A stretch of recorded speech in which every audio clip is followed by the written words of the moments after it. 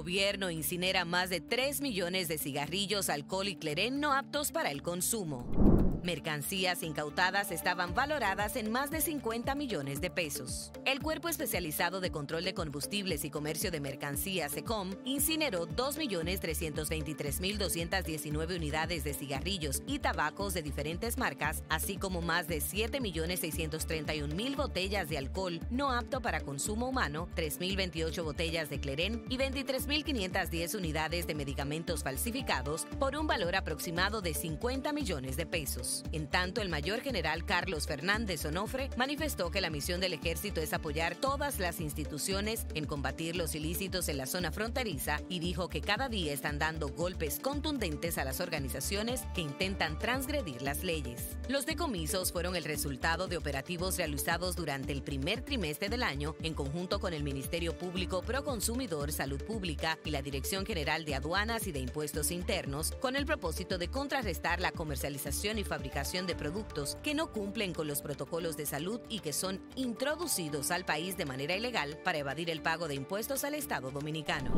Pues es una muestra más del compromiso que tienen nuestras autoridades militares, del compromiso que tiene el Ministerio de Industria, Comercio y Pyme, las autoridades judiciales, la Procuraduría, Proconsumidor, sus autoridades, Salud Pública también, que acompaña en la mayoría de los casos, y muchas otras entidades como Aduana, la Dirección General de Aduana, que hace una labor también encomiable, la DGI y los organismos de inteligencia del Estado que nos dan soporte.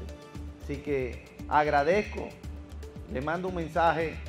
de también de primero de conocimiento y agradecimiento de parte del presidente de la República que está consciente del trabajo que se está haciendo